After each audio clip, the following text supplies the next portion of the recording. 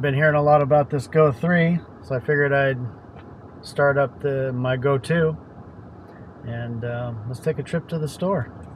But beforehand,